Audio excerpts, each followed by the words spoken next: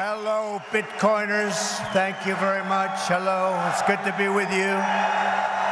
It's good to be with you. So, Secret Service just told me, sir, would like a little more time. I said, you take all the time you want. You can take two hours, three hours, the hell with the people that have been waiting out here, but it's, I'm sure they don't mind either. But it is a great honor, and uh, a lot of things are happening in the world. We just heard, you probably heard, that Israel was just attacked, very severely attacked, and uh, Hezbollah looks like. And this is things that won't happen. I mean, you just, just can't they have to respect us. They have to respect. They cannot do this. They cannot do this. What they did just now with that attack is terrible. Just happened. And uh, so, to all, God bless everybody. This is so serious. Uh, they have to respect our country. This would never have happened with us, and we just uh, cannot let it continue. So, we just wish them all a, a lot of luck. This happened as, as I'm walking on the stage. You probably most of you have heard about it, but it just, uh, it's a terrible thing. But I'm thrilled to be here in Nashville to become the first American president ever to address a Bitcoin event anywhere in the world.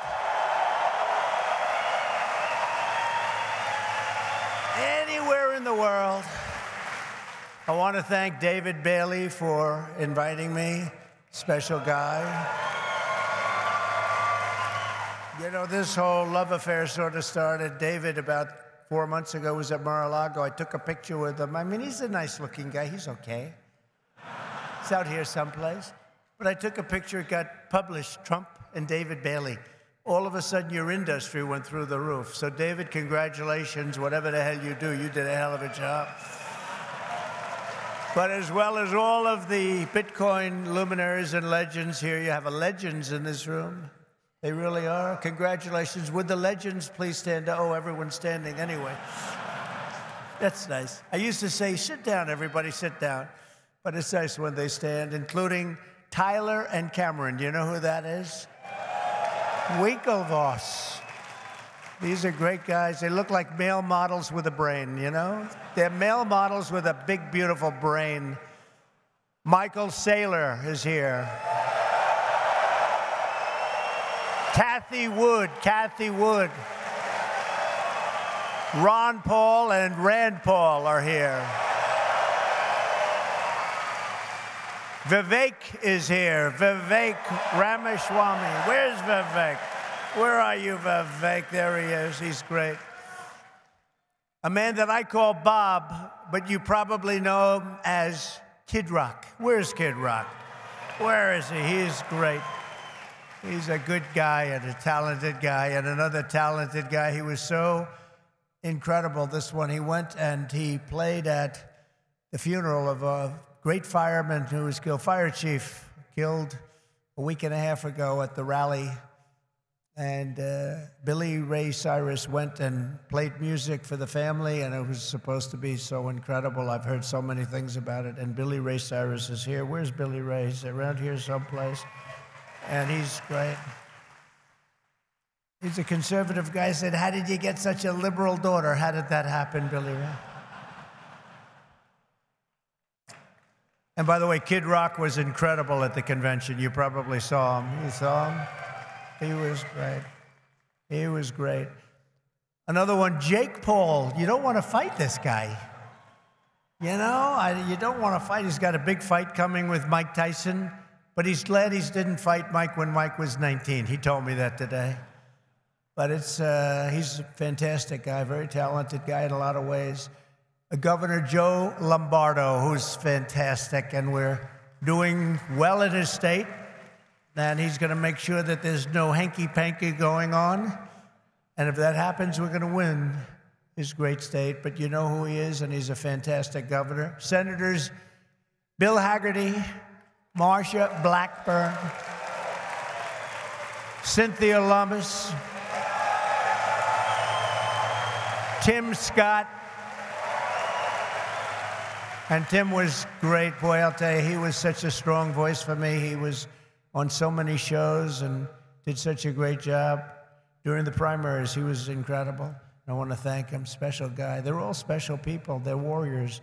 Tommy Tuberville. You know Tommy Tuberville, senator from Alabama. And you have many members of Congress uh, Andy Ogles, Thomas Massie, John Rose, Mark Green, and French Hill. And the next U.S. Senator from Ohio, I hear he's doing very well, Bernie Moreno. Where is Bernie? I hear Bernie's doing well. The great Laura Loomer, some of you know Laura, she's a fantastic person, great woman. And a tremendous developer from New York and Florida, one of the best, Steve Witkoff, and he's got his son Alex with him today. That's an incredible family, development family. They've been supporters from the beginning. Howard Lutnick, Cantor Fitzgerald, incredible, one of the truly brilliant men of Wall Street, and a whole group of his distinguished guests and a lot of our distinguished guests. We have a lot of other people here, and I won't bother anymore. That's enough. Because we have to talk about crypto, we have to talk about Bitcoin, we have to talk about all these great companies.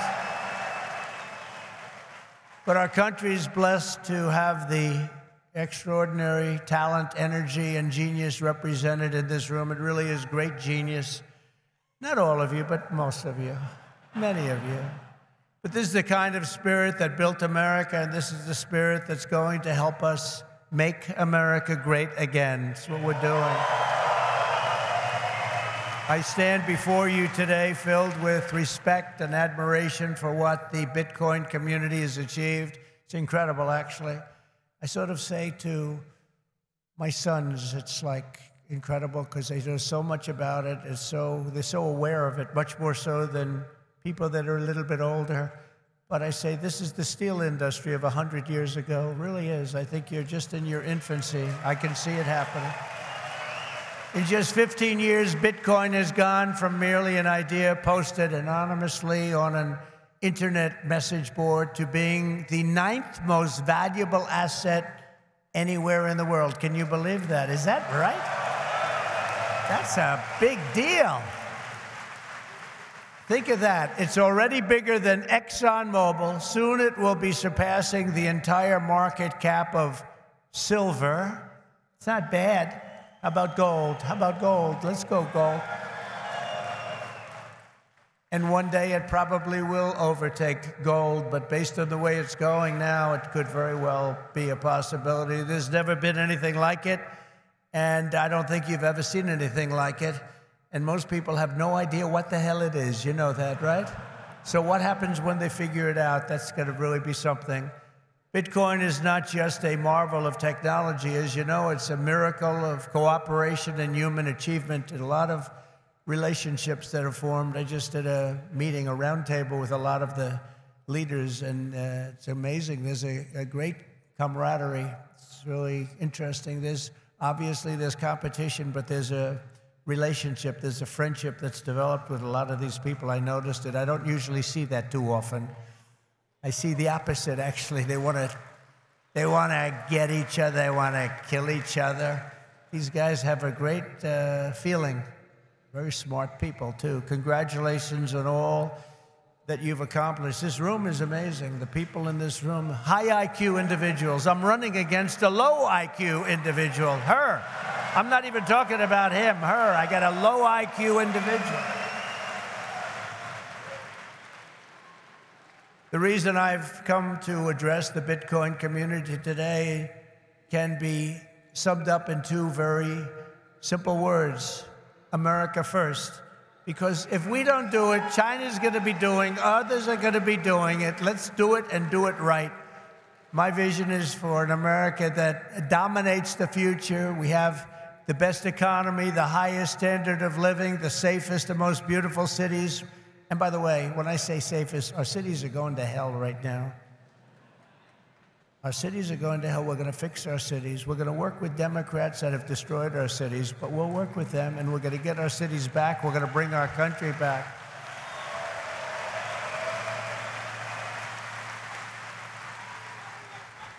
And we really were the freest and the most ambitious, most dynamic nation ever to exist on earth, and we're going to get that back again because we're not there now. We're a nation in decline. You know it, we know it, doesn't sound nice, but it's okay because we're going to bring it back. We're going to bring it back fast. Right now, it's, it's embarrassing. It's embarrassing what's happened. Even today, when you look at what we just said, that would never have happened if they respected our country. If we don't embrace crypto and Bitcoin technology, China will, other countries will, they'll dominate and we cannot let China dominate. They are making too much progress as it is. And we want them to be successful. I don't want China to be successful, but we have to be the most successful. What's gonna, that's what's going to happen. I want the United States to be first in technology, first in science, first in manufacturing, first in artificial intelligence, and first in space. You know, at MIT, my uncle was a professor there, Dr. John Trump. He would have fit in with this room very nicely, actually. That's why I mention it. And I believe he was the longest serving professor in the history of MIT. He graduated, we have a very intelligent family, actually. He graduated tremendously. I think he has three different degrees, but they said, Would you like to stay on, John, and be a professor? Well, I've got a lot of offers, I assume he said, but I've got a lot of offers. Well, we'd like he was there for, I believe, 41 years. When I was in the White House, the head of MIT came to see me, and they presented me with a book on my uncle. He was a legendary guy in the academic world and in the world of MIT. So I understand a lot about what you're doing, and I have great respect for highly intelligent people. And you are highly intelligent. America's destiny is to lead our rivals in everything and to surrender our industries to no one, to no one. You know, uh, some of you are involved with AI, but you also have the same thing. You need a thing called electricity. You need a lot of electricity. You know, AI needs to be really dominant, and China can do it much easier. We have environmental impact statements to do, but we're going to do things that nobody thought were possible. You need tremendous amounts of electricity. You need double the electricity of the entire electricity that we have right now in the United States to dominate.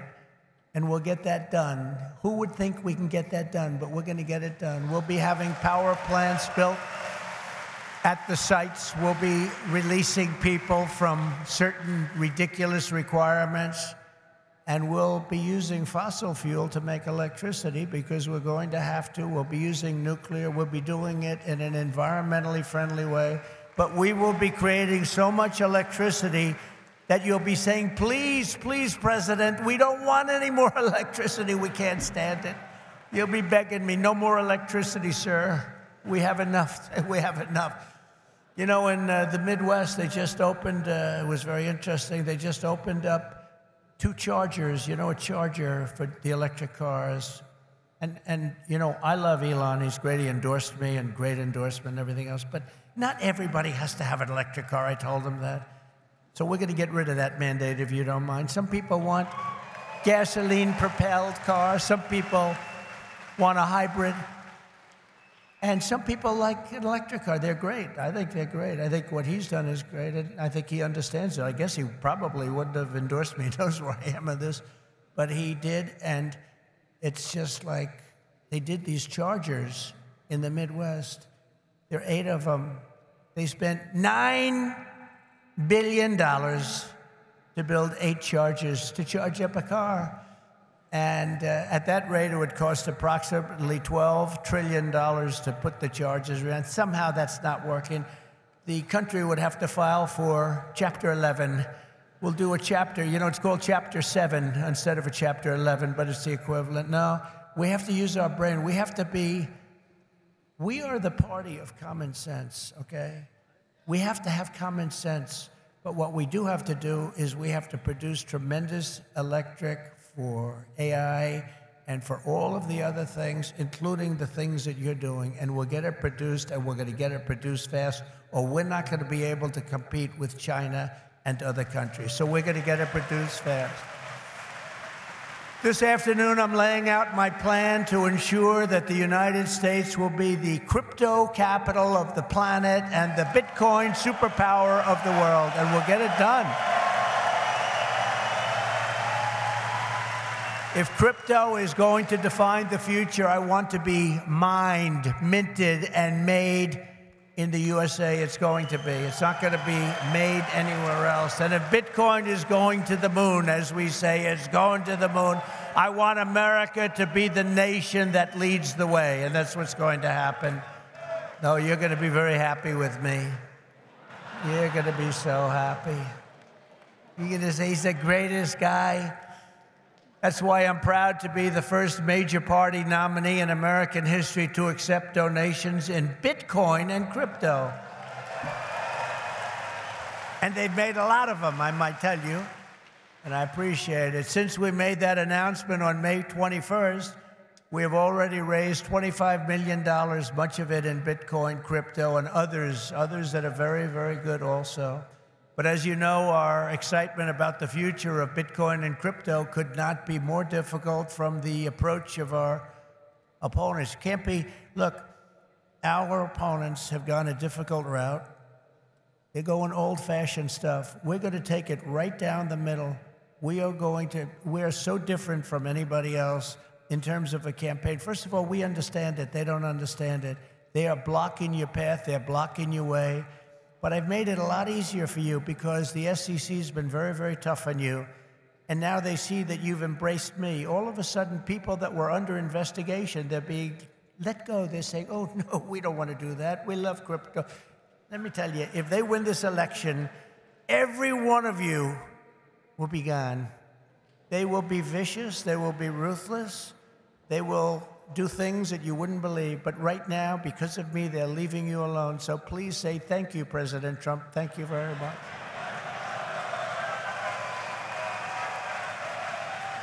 And the reason they're doing that is I've heard from some of your great geniuses that talk to me about this subject. Uh, I've heard from Vivek. 175 million people in some form are involved with this world of crypto and Bitcoin and all of the others, 175 million. So when they heard that, they said, let's be nice to them at least until after the election. So uh, I've taken a lot of pressure off a lot of people. A lot of people are very happy today that about three months ago weren't so thrilled. For three and a half years, is that right? Look, he just said that's right. And you know it's right. For three and a half years, the current administration has waged a war on crypto and Bitcoin like nobody's ever seen before. For those who work in this industry, they target your banks, they choke off your financial services. Have people seen that? Yes? Yeah, they have. Plenty of hands up. They block ordinary Americans from transferring money to your exchanges. They slander your they slander you as criminals, but that happened to me too because I said the election was rigged. He said the election was rigged. He should spend the rest of his life in jail for making that statement. Of course, they say it about us and it's okay, right? No. And by the way, we're doing very well in the election. Uh, you know, we lost a candidate recently, crooked Joe Biden. And, and I thought, we lost this wonderful person. You know, he's actually a terrible human being, if you want to know the truth, so don't feel sorry. And we have another worse, he's the worst human being, but and I, I sort of made an analogy last night. Last night, think of this I was speaking in front of a very powerful and very strong, very religious group, Christian group, Christians, evangelicals, Christians. And then today I come in front of Bitcoin, and now I'm going to Minnesota to do a rally. You think my life is so great, don't you, huh? But I cover a lot of territory. I go from religion to Bitcoin to a rally. And I don't get it mixed up like other people do.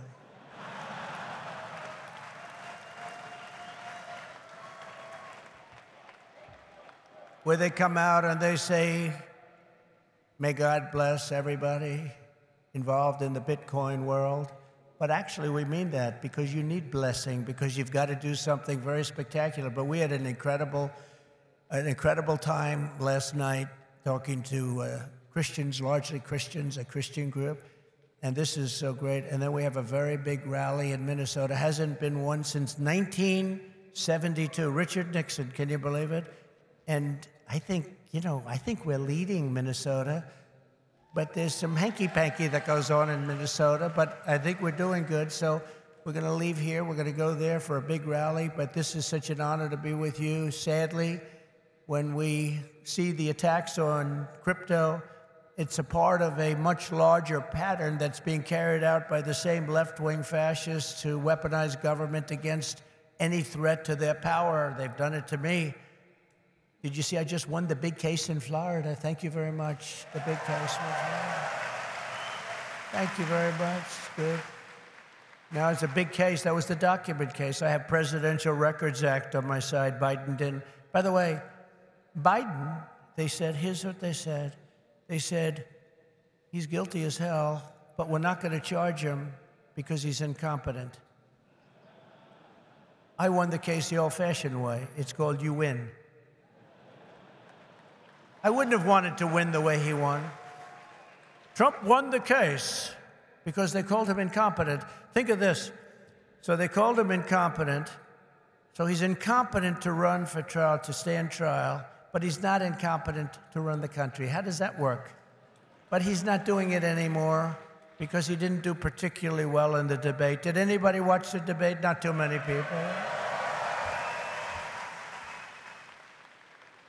Somebody said to me, You did horribly in the debate. I said, Why? He said, Because there's no way he can continue forward. That's how bad he was.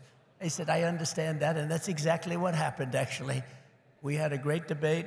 It was a tremendous debate, actually, and since then, uh, hey, look, you have to open the eyes. You have to you have to see what's going on. We have a country to run. The problem is that Kamala is worse than Joe. She's worse. She's a radical left lunatic. Defund the police. All of the different things. And so far, we're doing. She's got a little honeymoon going on right now. But when people hear about her, and she's against crypto, by the way, and she's against it very big. So I just want to let you know you got to get out. You got to get out and vote. It should be no surprise that these same totalitarians are hell bent on crushing crypto and obliterating, and that's what they want to do, and that's what they are stated. They, well, I mean, they're there right now. You have the SEC, you know what they're doing, obliterating Bitcoin. The reason could not be more clear because Bitcoin stands for freedom, sovereignty, and independence from government, coercion, and control the Biden Harris administration's repression of crypto and Bitcoin is wrong, and it's very bad for our country. It's really quite un American. As you know, six days ago, we officially defeated the worst president in the history of the United States. I believe he was the worst president in the history of the United States. Think of it millions and millions of people have come into our country. They've come in from jails, they've come in from Think of it insane asylums, mental institutions, they've come in as terrorists. We have the largest number of terrorists coming into our country right now. The same people that you just heard about from Israel that did that in Israel, they're coming in and nobody checks them. Nobody knows what's going on. We have no idea what's going on. They've lost control of our country, and only bad things can happen. So it's not going to be that way. We're not going to let that happen we're beating them and we're beating them badly, and we have to make sure that we do. We need to do it for our country. And you can't just be a fighter and have your man lose the fight or woman, but in this case, a man. He's losing the fight.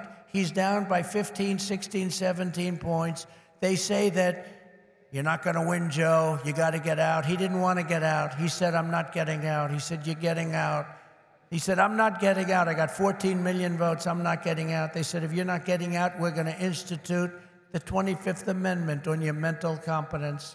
He said, like I said before, I think I'm going to get out. Okay?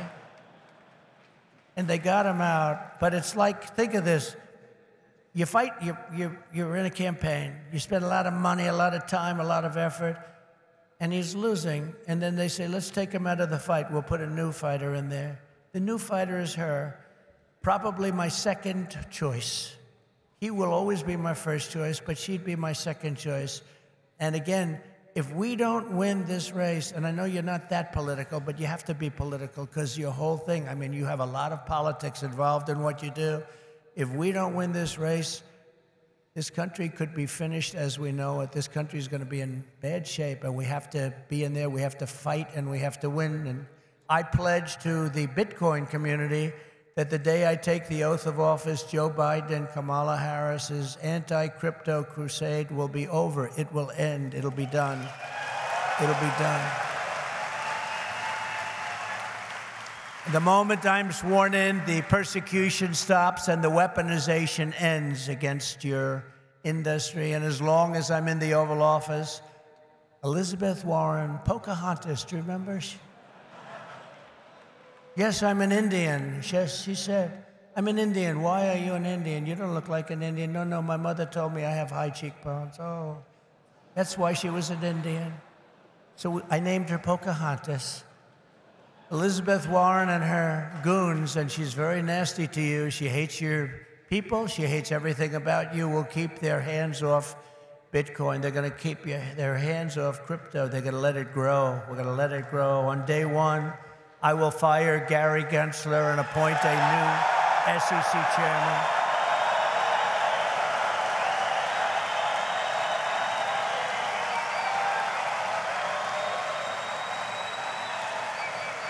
I didn't know he was that unpopular.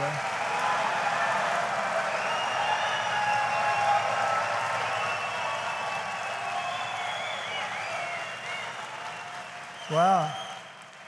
I didn't know he was that unpopular. Let me say it again. On day one, I will fire Gary Gensler. Whoa.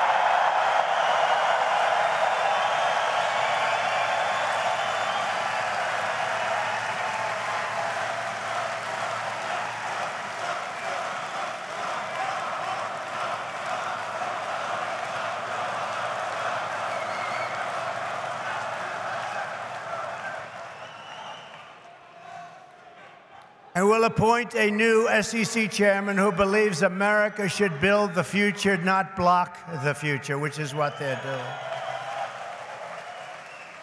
And Kamala Harris wants to make him Treasury Secretary. That's not good. That's not good. He was Hillary Clinton's finance person. Did you know that? Crooked Hillary. Remember Crooked Hillary? Do you remember her? Anybody remember? He was the finance chairman of Hillary Clinton's campaign against a gentleman known as Donald Trump.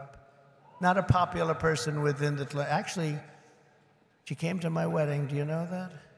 To our great First Lady, Melania. She came to our wedding, and Bill came to our wedding. But it's amazing things when you run for office, a lot of things change in your life. A lot of things change. As president, I will immediately shut down Operation Choke Point 2.0. They want to choke you. They want to choke you out of business. We're not going to let that happen. And no longer will your government sit by and watch as Bitcoin jobs and businesses flee to other countries because America's laws are too unclear and too tough and too angry and too stiff. We will keep each and every Bitcoin job in the United States of America. That's what we're going to be doing upon taking office, I will immediately appoint a Bitcoin and crypto presidential advisory council. Would anybody like to be on that particular council? Please raise your hand.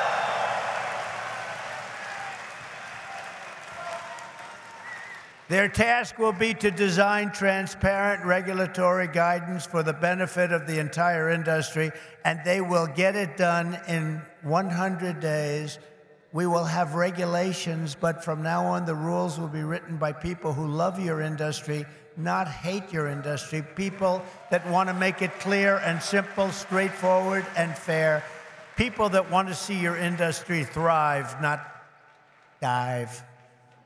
Next, I will immediately order the Treasury Department and other federal agencies to cease and desist all steps necessary because, you know, there's a thing going on in your industry. They want to move the creation of a central bank digital currency. It's over, forget it.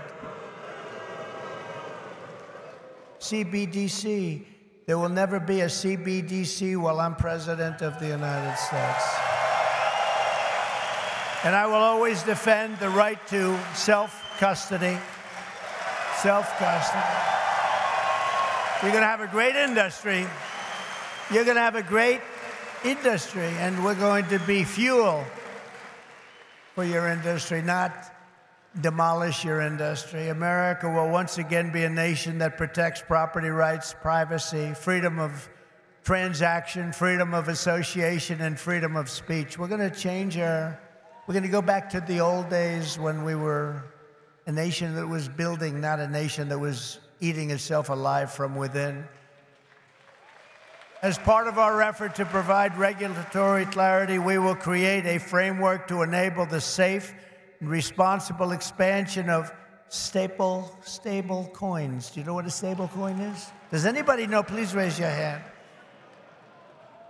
Allowing us to extend the dominance of the US dollar to new frontiers all around the world. America will be richer, the world will be better, and there will be billions and billions of people brought into crypto economy and storing their savings in Bitcoin. So that's the way it is. That's pretty much the way it is. Those who say that Bitcoin is a threat to the dollar have the story exactly backwards. I believe it is exactly backwards. Bitcoin is not threatening the dollar. The behavior of the current US government is really threatening the dollar. The danger to our financial future does not come from crypto, it comes from Washington, D.C. It comes from trillions of dollars in waste, rampant inflation, and open borders while giving welfare and free health care to all of the illegal aliens that are pouring into our country by the millions and millions and millions. It comes from printing hundreds of billions of dollars to fund endless wars overseas while our cities are like combat zones here at home. Two weeks ago in Chicago, 117 people were shot and 17 died. Afghanistan doesn't have anything like that. You know, you think about tough places. Look at what's happening with our cities, what's happening in the last three years, last three and a half years. Nobody's ever seen anything like it. Think of it 117 over 4th of July weekend. 117 people were shot and 17 died. This is the United States of America? I don't think so. By the way, when I was president, we had no wars. We had no new wars. We didn't start any. Remember when Hillary said, he'll start wars? Look at his personality. No, I said, my personality will keep us out of wars. But we finished off some of the old ones like ISIS, which they said would take five years to do, maybe more. We did it in four weeks. We beat ISIS in four, because we have a great military. And it's not a woke military, by the way. Maybe some of the people on top are woke, but this is not a woke. I got to see that first. First, when I looked at what they did and what they did for me, they were unbelievable. They did things that nobody thought were possible. Our, our real generals and our soldiers, there's no woke. They're trying to get them to be woke, but these people are not going to go woke, I can guarantee you that. With your support this November, we will restore competence and we will restore common sense to our nation's capital. Because ultimately, it is about, it's not, are you conservative? Are you liberal? Are you progressive? They like progressive. It sounds so nice, right? It'll destroy our country. It's actually become a terrible word. It'll destroy our country. But it's not about that. It's about common sense. We want to bring common sense back in. This is all common sense that we're talking about today. And Bitcoin and crypto will skyrocket like never before, even beyond your expectations. And you are the people that are doing it. As we stop the war on crypto, we'll, we will immediately, and we'll do this very quickly, begin to build our economy because when America is prospering, Bitcoin is soaring and it'll go up with it. We had the greatest economy ever, and we will soon have it again. Under the Trump administration, the typical middle class family income rose by $6,000 a year. People don't like mentioning that. America had more money to save than at any time in many decades. As a result, during my four years in office, now you have to listen to these numbers. These numbers are like beautiful. And I don't want to repeat myself. Listen to these numbers. As a result, during my four years in office, Bitcoin surged by 3,900%, from $898 the day I took office to $35,900 the day I left. That was the biggest jump,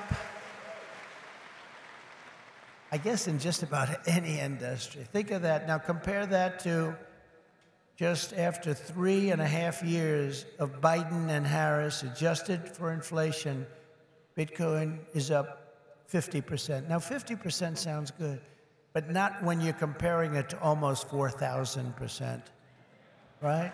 50%. You know, normally you say, oh, that sounds pretty good. Let's not put that into the speech. No, 50% is not good. When people can't afford groceries or rent, they have no savings to store in Bitcoin. This administration caused the biggest inflation in the history of our country.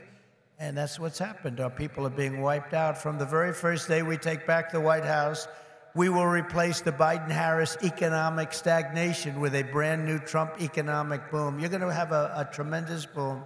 You know, you have a lot of great analysts out there.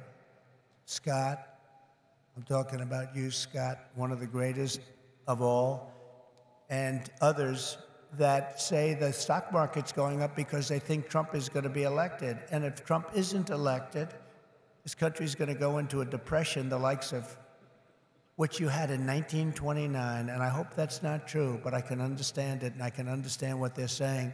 The stock market gain they think is because looks like we're going to win the election.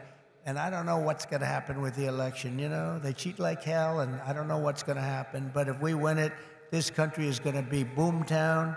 It's going to be booming like it never boomed before. The current administration's economic plan includes trillions in new spending and $5 trillion tax hikes.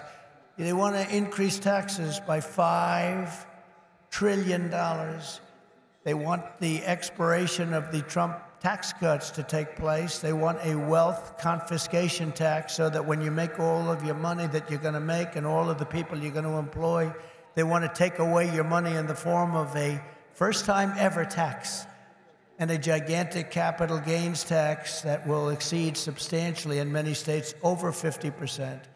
My plan is the opposite. We will lift the workers and we will create savers out of so many people and we will reward success. We will not punish success. They want to punish success. They want to punish genius. I'm not going to let that happen. I will make the Trump tax cuts permanent and deliver massive tax cuts for families and individuals and businesses that produce jobs. That includes no tax on tips. You know that, right? Going to get rid of the tax on tips. I will cut unnecessary and burdensome regulations, fight every day to make America the best place on earth to build a business including a crypto business. It's going to be the best place. You're not going to have to go to China. You're not going to have to learn, gee, how do I learn Chinese? I want to learn it very quickly. I have a little granddaughter that speaks fluent Chinese. Can you believe it? And uh, it's a wonderful thing, but it's not easy, but you're not going to have to do it. Most importantly, for our citizens, we will end the inflation nightmare that this administration has created, and we will end it quickly. It's got to end. It's destroying our country. You know, inflation is a country buster. You can go back many, many years to Germany and you look at what happened to Germany during their huge period of inflation, destroyed the country. It's a country buster. The Bitcoiners, and I say to you that you recognize the dangers of inflation long before most others did. You understood inflation, frankly, better than anybody else. You know that, don't you? If only they had listened. They didn't listen to you. They didn't listen to you. The trillions of dollars in ridiculous waste approved by our opponents resulted in the very inflation disaster that Bitcoiners had always predicted. 20, 30, and even 40% of the value of every dollar was wiped out and wiped out quickly. You understood that, but a lot of other people didn't. The life savings of millions of Americans was rapidly destroyed.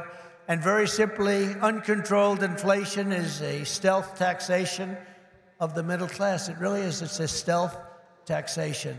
I call it the Biden tax. Now I call it the Harris tax or the Harris Biden tax or whatever the hell we're going to call them.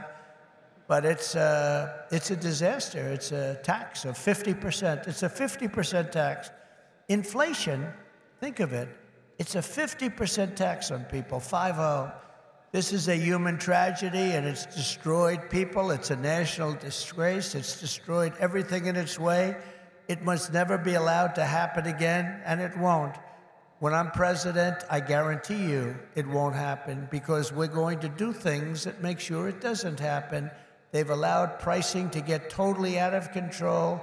We're going to do energy, bring it down to levels that people have not seen in many, many years. We had it at levels we were at $1.87 for a gallon of gasoline. You don't see that right now. For four straight years, under my leadership, we had effectively no inflation, none.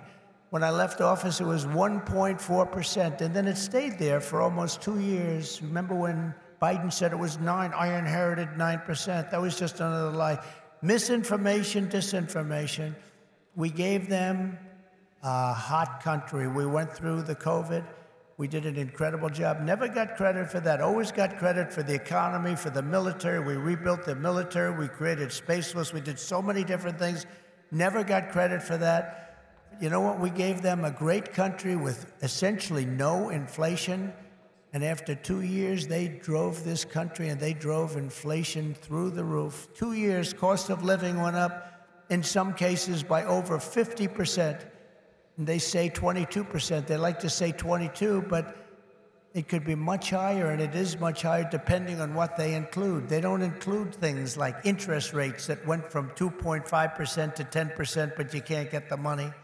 When I return to the White House, I will stop the wild and wasteful spending of this administration. I will end the endless wars. They never stop. Again, we had no wars. We had no new wars under your favorite president, President Trump. We had no new, we had no new wars. They thought I was going to start a war. Let me tell you something. I'm going to stop World War III because we're closer to World War III than we've ever been since the end of World War II. I will seal the border and stop the invasion of millions of people pouring into our country illegally. We will totally defeat, and we will do this quickly. We will defeat inflation, and together we will bring back the American dream for citizens of every race, religion, color, and creed. We will bring it back, the American dream. You don't even hear the you don't even hear the statement American dream anymore. You don't hear those words anymore. We used to talk about the American dream. A lot of you people are in the American dream, but you're going to be crushed if you don't elect me. I hate to tell you. You don't elect me, you're going to be crushed. You're going to say, Alice, what a mistake it was. We went for a person who has no talent. She's been a failure at almost everything she's done instead of Trump. And look at us now. We're going to move into an extremely small house from our beautiful house. But we will end the war on American energy and we will very simply drill, baby, drill. We're going to drill, baby, drill. We have to.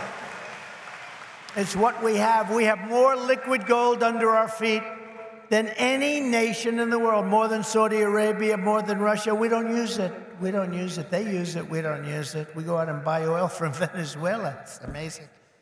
But we won't stop there. We will harness American energy in all forms. I have set the ambitious goal that by the end of my term, the United States will be the number one lowest cost of energy and electricity of any nation on earth. We can make it so inexpensively. Because of what we have under our feet, we can make it so inexpensively. And with low energy costs, America will become the world's undisputed Bitcoin mining powerhouse. You'll be a Bitcoin mining powerhouse. You will not have to move your family to China. You will not be moving to China.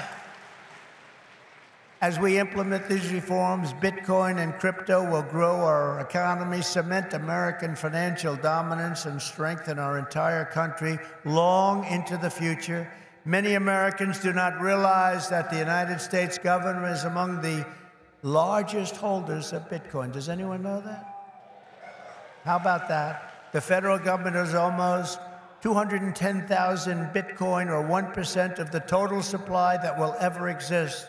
But for too long, our government has violated the cardinal rule that every Bitcoiner knows by heart never sell your Bitcoin, right?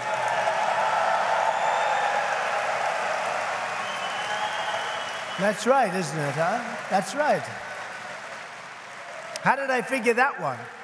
Never sell your Bitcoin. And so, as the final part of my plan today, I am announcing that if I am elected, it will be the policy of my administration, United States of America, to keep 100% of all the Bitcoin the U.S. government currently holds or acquires into the future. We'll keep 100%. I hope you do well, please.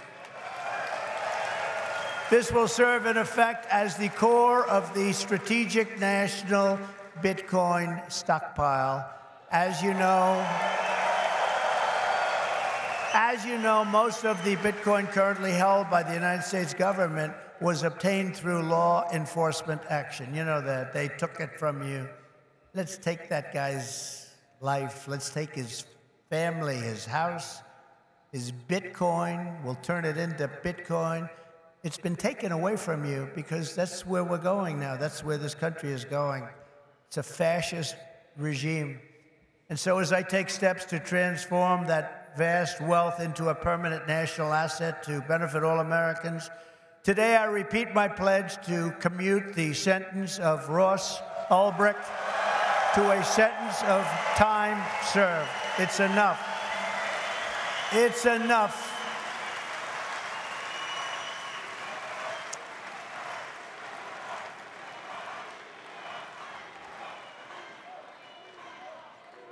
That's where we are as a country. Ultimately, my promise to each and every one of you is this I will be the pro innovation and pro Bitcoin president that America needs and our citizens deserve. This will be one industry, but this will be a thriving industry, a great industry, and I'm going to be doing the same thing for every other industry also.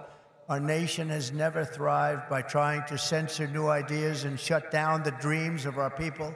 America always plants our flag on the next frontier and pushes boldly ahead. We have to do that. We haven't been doing that for a long time, especially the last three and a half years. It's gone the exact opposite.